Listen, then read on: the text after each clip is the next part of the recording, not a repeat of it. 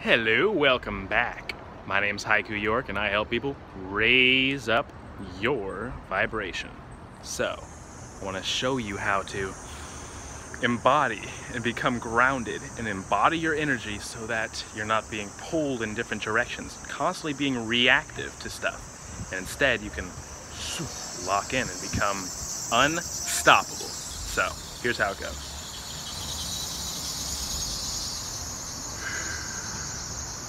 Life happens to you in a certain way where you can be reactive or you can be responsive. And here's the difference. Responsive comes from a very relaxed, chill perspective where you're enjoying life and you understand stuff. Other than that, you are reactive. And it often happens throughout your day. Because as we wake up, we're in an alpha state. We're in an alpha frequency. But as we are going through our day, it pops up into beta state where we're over agitated, we're bouncing around, we're looking around, we're start worrying about stuff instead of start setting the intention of what we want to do. So here's how it goes. You can wake up right in the morning and set your plan and set your schedule and have your routines. Now you probably already have this, but you have to be hyper aware at first of how you can take yourself out of your center and you start putting your awareness outside of you. You start, you start thinking other things are more important than they actually are, and you are. I see you up there. So, here's how it goes. You just kind of take that stuff that's super, super, whatever it is. Is it triggering you? Is it making you happy? Because we're here to be happy and inspired.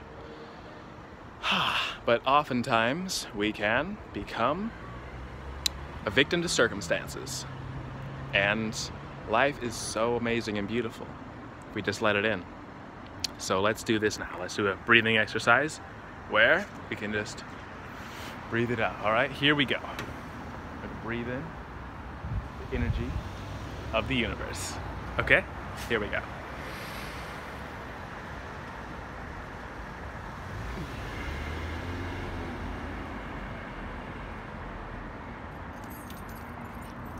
When you master your body, you can master your mind and emotions. How's it going?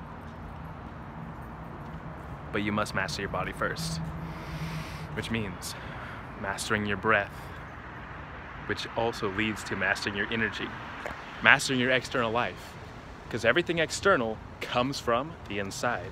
Master that internal life. You have complete control over one thing and one thing only, and that is your body. That is your brain. That is what you do, and that is what you choose to do. So when you do this and you're working through it, learn how to master your body in the most amazing way. Learn how to project your energy because this society actually forces us to become closed in. If you see people, they're walking and they're kind of caught up in their own thing, right? It's an example. We all have our own intention, but we're being pulled in different directions. And so, taking that breath, mastering the internal body is the secret.